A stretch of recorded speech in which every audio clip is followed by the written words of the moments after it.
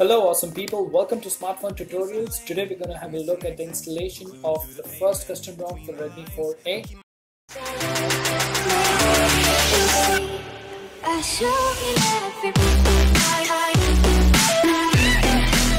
Alright, so before we begin, you need to have TWRP installed and if you want to see how to do that, the video link is mentioned in the description. And to begin with, you need to download the ROM and Google Apps. The link for the same is also mentioned in the description. Make sure you copy that to your phone's internal memory.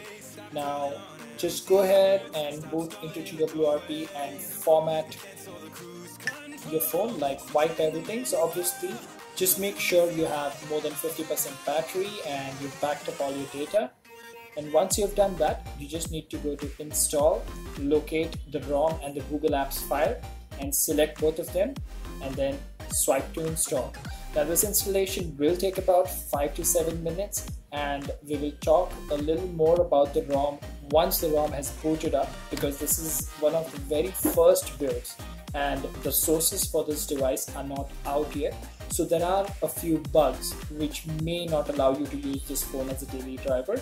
However, this is a quick preview. Once we get stable ROMs and a lot more custom ROMs for this particular device, we will definitely go ahead and have a look at which is the best ROM and how stable it is. Now once the installation is done, just wipe cache and Dalvik and then reboot system. Now this is the first boot so it will take anywhere between 5 to 7 minutes and if you get this prompt disable stock recovery flash just go ahead and swipe to allow the same because we don't want TWRP to be overwritten by the stock recovery. Now once the phone is booted up, as always with any custom ROM, you will be greeted up with a you know nice boot animation as you can see on the screen and once everything is initialized you can just go ahead and set up your device. Now for Jio users voice over LTE is not working. Jio 4G voice is not working. So this is definitely not a daily driver for you. Apart from that there are a few bugs here and there like the phone keeps rebooting randomly. But then again yes you know as this is a custom ROM uh, you, you really get a lot of smoothness.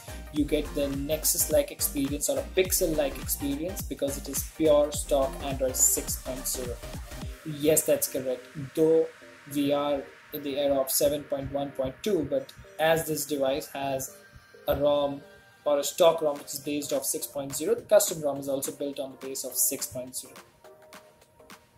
now apart from that, if you have a look at the screen, most of the features are working, which is a pretty good news for a very very early or a beta build. Now if you swipe down and if you go to settings, scroll down to about,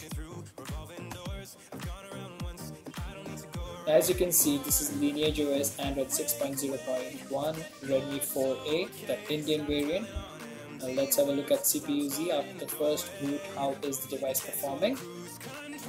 So that's your device information, the display, the, the Android version, the battery, and that's the temperature. So the device is not heating up at idle.